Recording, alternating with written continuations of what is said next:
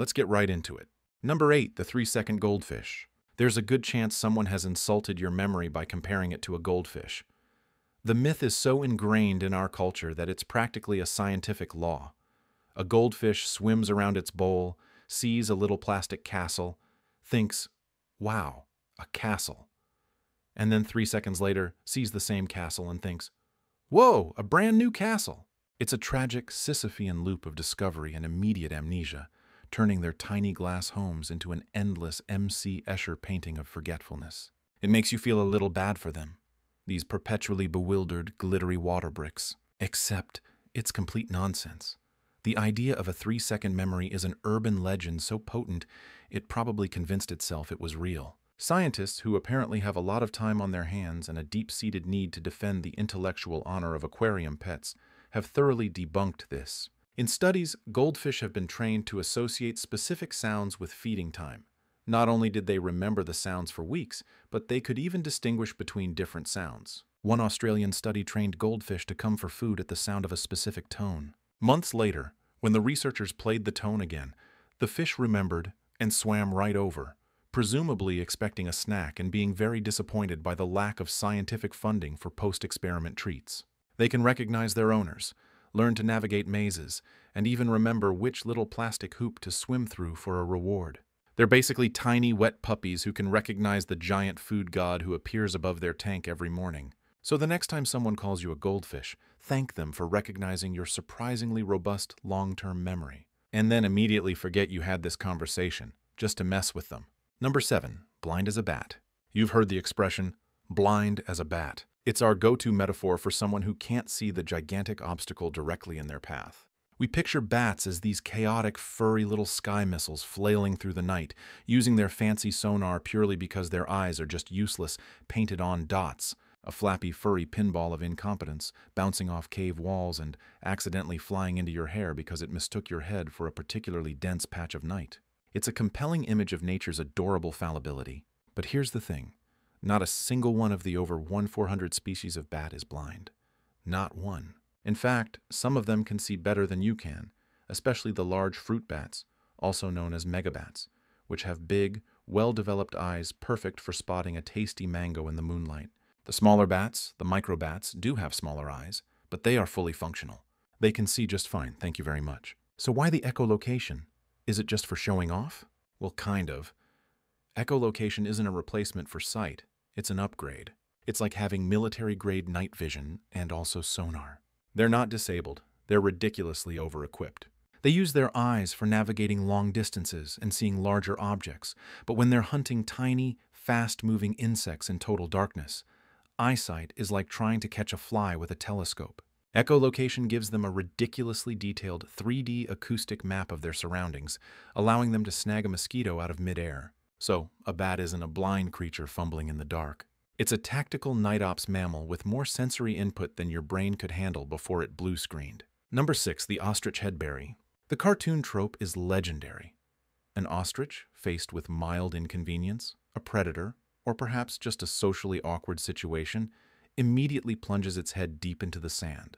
It's the ultimate symbol of denial, an animal so terrified of reality that it opts for a strategy of, if I can't see the lion, the lion can't see me. It's an idea so beautifully stupid we've all accepted it as fact. We imagine this giant bird, its massive, feathery body sticking straight up out of the ground, completely exposed, convinced it has achieved perfect camouflage.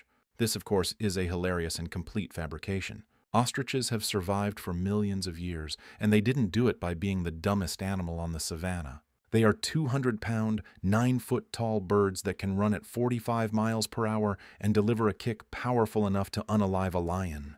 Plunging their head into the ground would be like a heavyweight boxer dealing with a problem by sticking his fingers in his ears and humming loudly. So where did this myth come from? It's a simple misunderstanding of perfectly normal bird behavior.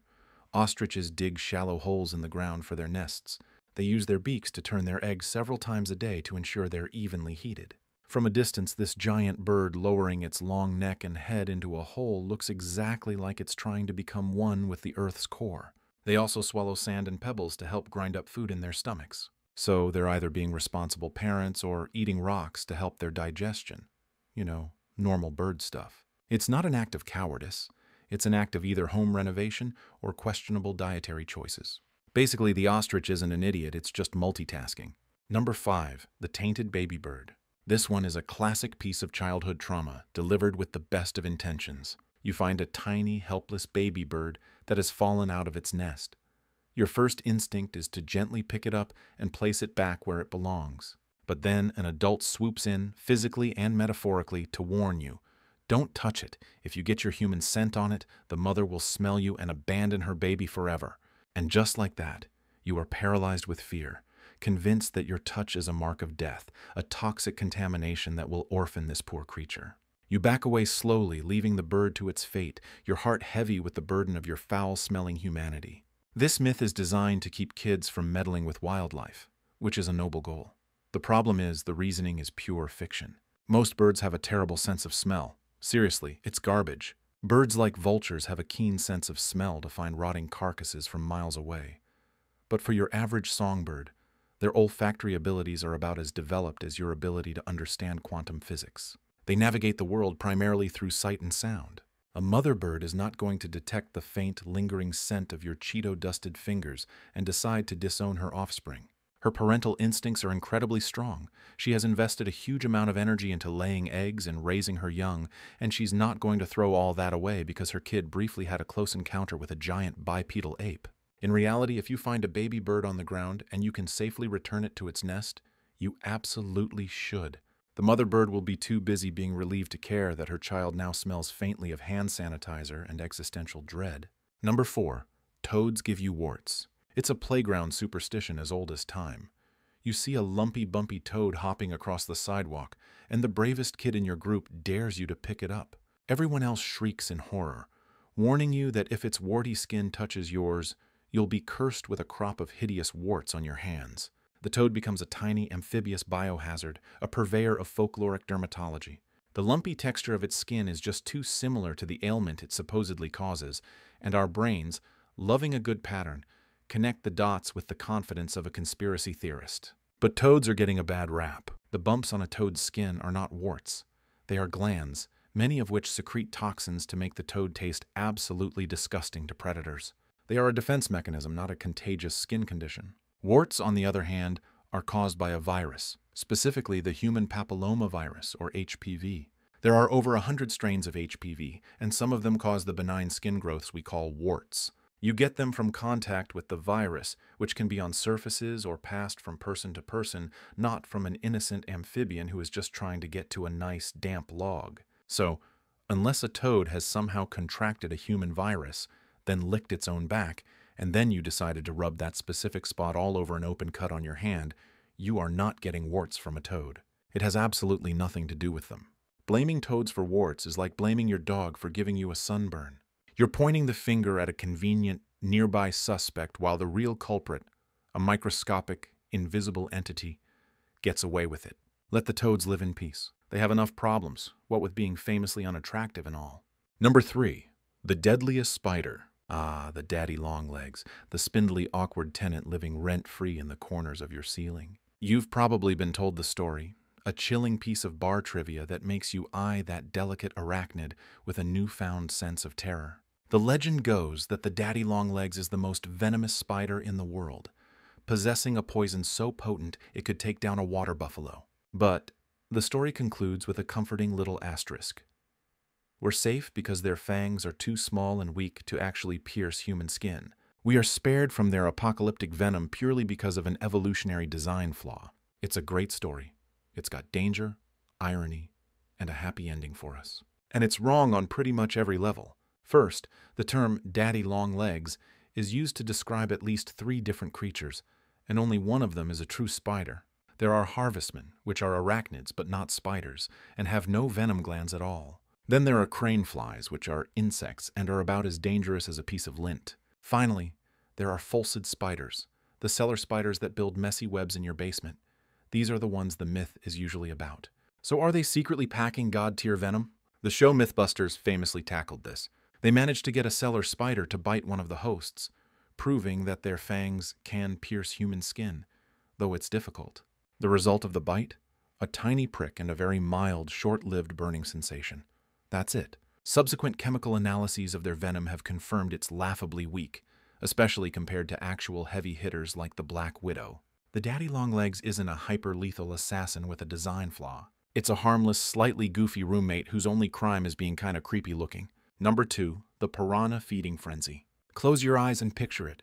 You're in the Amazon. You fall into the water. The moment your body hits the surface, the river begins to boil. A cloud of razor-toothed fury converges on you from all directions. Within seconds, the water is a crimson froth, and in under a minute, all that's left is a perfectly clean skeleton sinking gently to the riverbed. This is the image of the piranha seared into our collective consciousness by horror movies and sensationalized documentaries. They are the ultimate aquatic nightmare, a swarm of living blenders. The truth is far less cinematic. This entire myth can be traced back to one man, Theodore Roosevelt. During his trip to the Amazon in 1913, local fishermen wanted to put on a good show for the former U.S. president. So they cordoned off a section of the river with nets and packed it with hundreds of piranhas.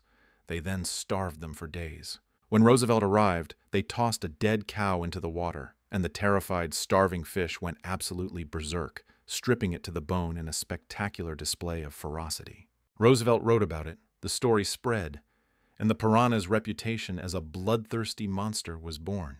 In reality, piranhas are primarily scavengers, feeding on dead or dying animals, supplemented with a diet of seeds and plants. They are generally timid fish. While they do have sharp teeth and can deliver a nasty bite if provoked, or if food is incredibly scarce, the idea of them hunting down and skeletonizing a healthy human is pure fantasy. There are records of people swimming in piranha-infested waters for centuries with no issue. They're less like a pack of wolves and more like a flock of very nervous aquatic vultures with a bad publicist. Number 1. The Lemming Death March this is the granddaddy of all nature myths, a story so tragic and bizarre it feels like it has to be true. The lemmings, small, hamster-like rodents of the Arctic tundra, are said to be gripped by a strange collective madness. When their populations boom, they are driven by an unknown instinct to form a massive army and march in a straight line, inexorably, towards the sea. Upon reaching a cliff, they don't stop. They just keep going one after another, plunging into the cold, churning waters below in a horrifying act of mass suicide. It's a powerful metaphor for mindless conformity and self-destruction. It's also one of the most infamous hoaxes in the history of wildlife filmmaking. The entire myth was cemented in the public mind by the 1958 Disney documentary White Wilderness. The film shows dozens of lemmings cascading off a cliff into the ocean, and the narrator solemnly confirms their suicidal journey. But the filmmakers cheated. The documentary was filmed in Alberta, Canada, a landlocked province with no native lemming populations and certainly no nearby ocean.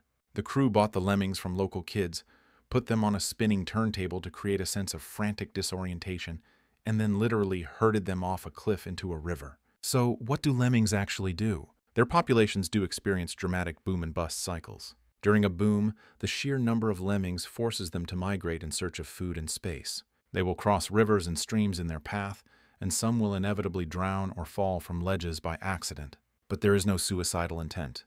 There is no death wish. It's just a crowded migration where accidents happen. They are not mindless drones marching to their doom. They are victims of overpopulation, bad luck, and a 1950s film crew with a shockingly flexible definition of the word documentary. That's all for today. I'll be making similar videos in the future. Subscribe to see them.